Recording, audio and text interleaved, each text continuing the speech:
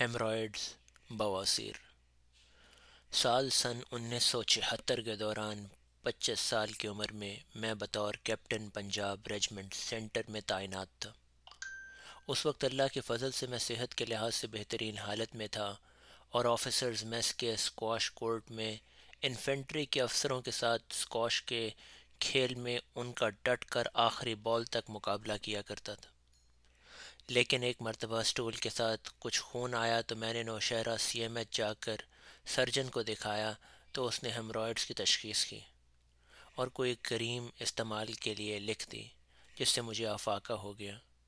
उसके बाद फैसलाबाद में एक मरतबा सर्जन को दिखाया, उसने थिएटर में डायलेशन की और मुझे फिर काफ़ी अरसा आराम रहा। इस मर्ज़ के लिए बाद सर्जन सर्जरी से हेमरॉयड्स निकाल देते हैं, लेकिन कुछ अरसे के बाद नए हेमरॉयड्स बन जाते हैं। इसलिए सर्जन भी ऑपरेशन से इज्तनाब करते हैं और मरीज़ बेचारा तो ऑपरेशन से वैसे ही खाइफ होता है। इस तरह मैं इनके लिए कोई मुस्तकिल हल न तलाश कर सका और डंग टपाओ अप्रोच के तहत गुजारा करता चला गया। यहाँ तक कि मैं सन 2021 के अप्रैल में कोविड 19 का शिकार हो गया। मैं उसी साल के आखिर में इलाज की गर्ज से अमेरिका चला आया। यहाँ उम्र रसीदा लोगों की रूटीन में बड़ी आंत के कैंसर की तलाश के लिए कोलोनोस्कोपी की जाती है। इसलिए मैं भी गैस्ट्रोंट्रोलॉजिस्ट के पास चला गया और उसने कहा कि ये टेस्ट करने के दौरान मैं हेमरॉयड्स के लिए हीट एप्लीकेशन भी कर दूँगा, जिसके लिए मैंने इतफ़ाक़ किया, लेकिन इस प्रोसीजर से मुझे कोई ख़ास अफाका ना हो सका। पल्मनरी फाइब्रोसिस के लिए डेढ़ साल तक मुझे कोई दवाई न दी गई। लेकिन जब मैं दूसरे पल्मनोलॉजिस्ट के पास किया तो उसने मुझे ओफेव 150 मिलीग्राम सुबह और शाम खाने के लिए तजवीज़ की। ये दवाई असल में एक सियासी बयान की मानंद है कि मदाखलत तो हुई है, लेकिन साजिश नहीं हुई। यानी ये दवाई फेफड़ों को सुखड़ने से तो नहीं रोकती यानी इस बीमारी का इलाज नहीं है और इसको ठीक भी नहीं कर सकती। लेकिन ये फेफड़ों की सफ़ाई सुथराई करती रहती है और आपको ये सारी उम्र लगातार खानी पड़ती है और इसके मुमकिन साइड इफ़ेक्ट्स मंदरजा झैल हो सकते हैं। नंबर एक, ये हार्ट अटैक कर सकती है। नंबर दो, ये आपके जिगर का सत्यानाश कर सकती है।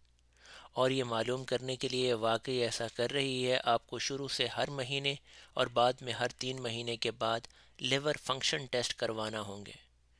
ये आपको फॉलेज कर सकती है। आपका बाजू, टांग या जिसम का आधा हिस्सा मफलूज कर सकती है।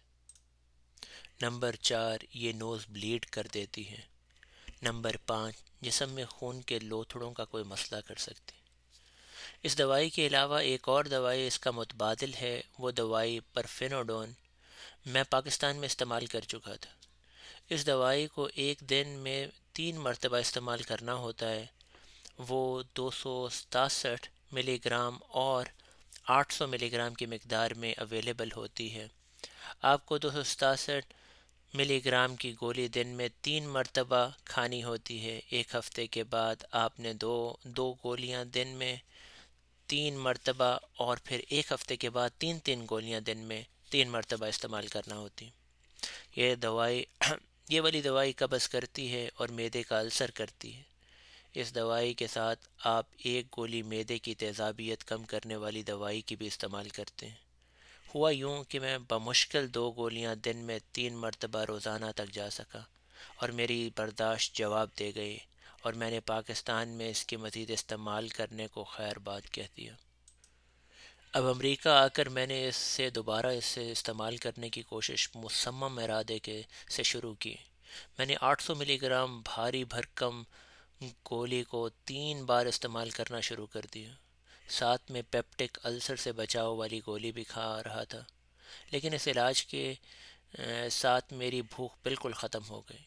और इसको हर आठ घंटे के बाद बाकायदगी से खाना होता था और आठ घंटे बड़े ही और टाइम में भी आ जाते थे। उसके लिए मुझे अलार्म का इस्तेमाल करना पड़ता, दवाई खाली पेट नहीं खानी होती, इसके लिए मुझे और टाइम में भी कुछ खाने की मशक्क़त करनी पड़ती थी। इस दवाई के साथ खाना पीना बिल्कुल बरए नाम रह गया। आखिर तंग आकर ये दवाई छोड़ दी और इसकी बजाय ओफेव वन फिफ्टी शुरू कर ली। इसके इस्तेमाल के चंद दिनों बाद मुझे हेमरॉयडल ब्लीडिंग शुरू हो गई। प्राइमरी केयर में डॉक्टर को दिखाया तो उसने ट्रायमसिनोलोन करीम लिख दी और मुझे कोलोरेक्टल सर्जन की तरफ़ रेफ़र कर दिया। जब सर्जन के पास गया तो उसने बैंडिंग कर दी और सिट्स बाथ का मशवरा दिया। ब्लीडिंग चंद रोज़ के बाद बंद हो गई तो मैंने 150 मिलीग्राम ओफेव दोबारा शुरू कर दी। सर्जन ने मेटाम्यूसिल के दो चमचे ठंडे पानी में मिलाकर सुबह और शाम इस्तेमाल करने का मशवरा दिया। फाइबर वाली चीज़ें खाने को कहा और तकरीबन दो लीटर पानी रोज़ाना पीने के लिए भी कहा। इसके बाद एक मरतबा फिर ब्लीडिंग हो गई तो उसने दोबारा एक हेमरॉयड को बैंड बाँध दिया और कहा कि एक हेमरॉयड बहुत बड़ा है और एक मरतबा दोबारा विज़िट के लिए कहा। अब सूरत हाल ये है कि काफ़ी सारे दिन बग़ैर ब्लीडिंग के गुजर जाते हैं और फिर एक अचानक ब्लीडिंग हो जाती है।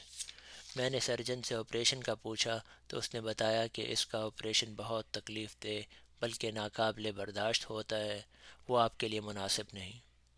बहरहाल अल्लाह का शुक्र है कि कब्ज़ की मैनेजमेंट तसल्ली बख्श जा रही है और फेफड़ों की दवाई भी पिछले दो माह से लगातार चल रही है। असल में मुझे यकीन हो चला है कि ये दवाई हेमरॉयडल ब्लीडिंग की वजह नहीं बनती और ब्लीडिंग का बरह रास्त ताल्लुक़ कब्ज़ के साथ है, उससे बचने की हर मुमकिन कोशिश करता हूँ। वैसे मैं हमेशा से पानी और फ्रूट का बहुत ज़्यादा इस्तेमाल करता रहा, लेकिन मैंने कभी भी कॉन्स्टिपेशन के लिए कोई दवाई इस्तेमाल नहीं की।